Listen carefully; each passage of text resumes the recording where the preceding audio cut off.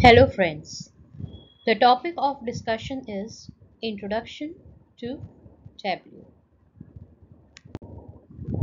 The topics we will cover are Introduction to Tableau and Data Visualization. What is Business Intelligence? Benefits of visualizing data. Advantages, disadvantages of Tableau. Installing Tableau Public User interface of Tableau Public Load data from Excel Introduction to Tableau and Data Visualization Data visualization is a graphical way of representing data and information. Example in the form of graphs and charts. There are many tools available in industry to display data in graphical forms. Some of the tools are Tableau, Power BI, Excel.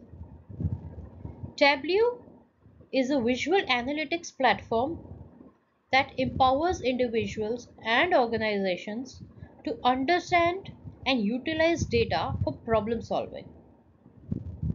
Tableau offers a user-friendly interface allowing users to connect to various data sources, visualize data through interactive dashboards and perform in-depth analysis.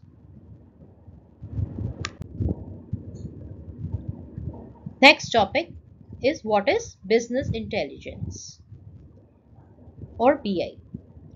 BI transforms raw data into meaningful information that can be used to understand past performance, current trends, and potentially predict future outcomes.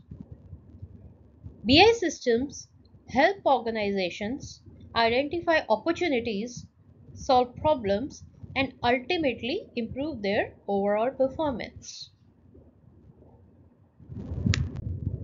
Topic 3 Benefits of visualizing raw data. Some of the benefits are increased efficiency and productivity, better decision making, improved customer service, greater competitiveness,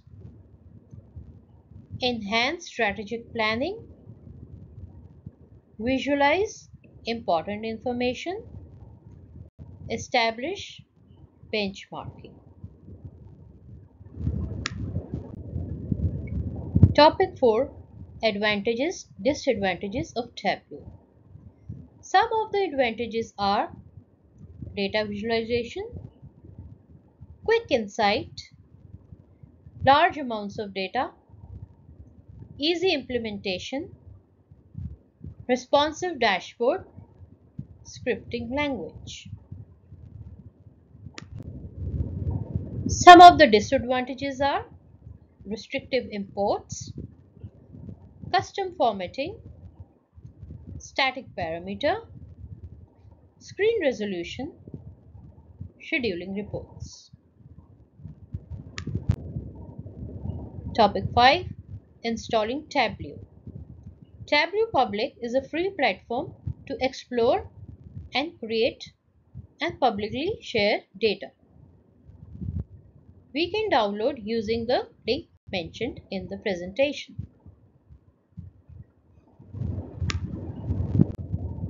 Next topic Tableau user interface. It has a simple interface compared to the other BI tools.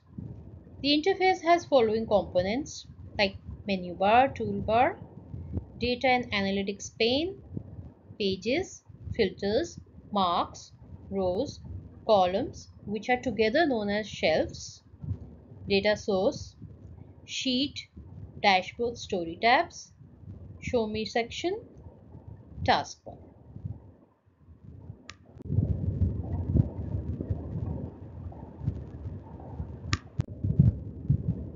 Next topic, loading data from Excel. On left hand side of Tableau screen, you will see option connect. Under connect, there are various ways to connect to different types of data files. We can select type, for example Excel and pull data into Tableau. Once you pull data, it will display data in tabular form of rows and columns on your screen. Next to data source is the worksheet. Each worksheet is one visual. If we want five graphs or presentations, we will need five worksheets in Tableau. Worksheets are like pivots in Excel based on rows and columns and values. Visuals will be created. Show me option on right hand side gives us options to build visuals based on graphs. A dashboard option lets you put multiple sheets in one space. Thank you.